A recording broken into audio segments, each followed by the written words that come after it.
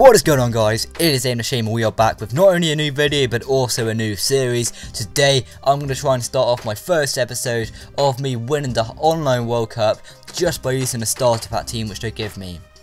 So guys, what I do here is I, I decided to go with Spain. Despite them having a bad World Cup this year, you got to put that behind them and hopefully we get some decent players in this pack.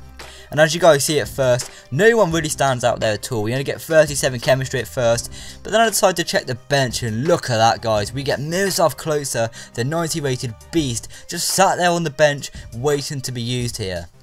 Not only that, we get Lukaku as well, who's obviously going to play alongside him. So that's two very quality strikers, especially Klose there. That's going to be a really nice partnership up top there. So in total guys, after a bit of a ranging around, we end up getting 80 chemistry here, which is obviously quite decent, because mostly in starter pack teams, you get lucky if you can get over 60 chemistry, so to end up with 80, I am so happy with.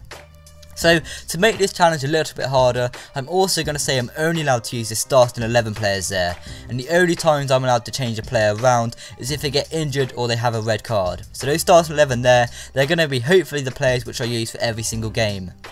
So I move on to my first game in the group stage here, a little bit nervous here, making sure that we don't do any early mistakes, but instead guys it turns out that we actually get an early goal here as the ball falls to Lukaku and he takes no prisoners there finishing that, making it 1-0 within the first 10 minutes. So guys, after this, I was quite confident going into the rest of the game here, thinking that, you know, I got that early advantage. All I have to do here, keep the ball, you know, keep calm, and hopefully see out the three points. And also, one thing I've been trying to do recently is keep a lot of clean sheets, because I never seem to do it, so I'm really trying hard to try and keep as many clean sheets as I can. But as you guys see here, he actually had enough of it, and he already, in the first 10 minutes, we get a rage quit here. Despite only being one goal up, he obviously realised that the partnership of Klose and Lukaku was just too strong for his team, and he decided to make an early exit.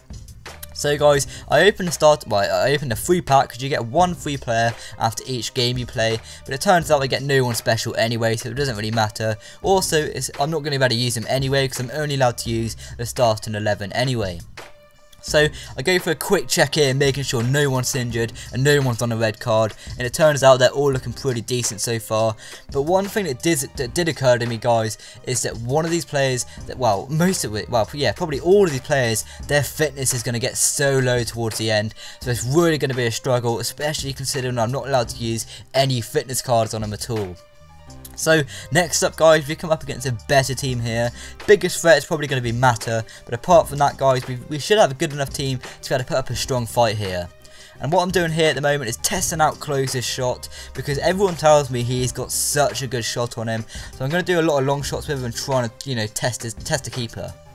But as you guys see there, I could have scored the corner, but it was an absolutely embarrassing miss there. But it doesn't bother me too much. The game's still nil-nil, and hopefully we've got all to play for so far. And after this, we go for the cross right to the back post and we head that home, making it 1-0 to us. It's actually very rare that I score headers, but that's exactly what I've done there, guys. Knocking it to the back post and we head that across the keeper, making that 1-0 to us. So after this, you know, I was quite comfortable in this game once again because I thought, you know, last game we were 1 up and the guy ended up rage quitting. But this guy, this guy was a lot stronger and he puts up a, a great equaliser there, guys. Fair play to him. That is a great strike. And you see quite a lot of them goals on FIFA now, especially. What people seem to do is they get in quite a tight angle and they just shoot it across the keeper. And chances are it's at least going to get you a corner. So, you know, guys, definitely try that tactic out.